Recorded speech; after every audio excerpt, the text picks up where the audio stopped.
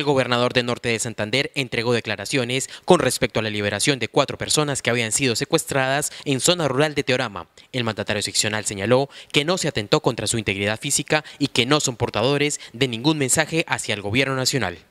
En la mañana hacíamos la solicitud para que fueran liberados inmediatamente, pedíamos la intermediación del gobierno nacional en los diálogos que hay con el ELN y también de la iglesia. Ellos fueron entregados aproximadamente a una hora de Teorama eh, a miembros de la Junta de Acción Comunal, de la personería y de la comunidad. Se encuentran en buenas condiciones y nosotros registramos eh, el hecho de que se haya liberado eh, sanos y salvos a estas personas y que no se haya atentado contra su integridad física.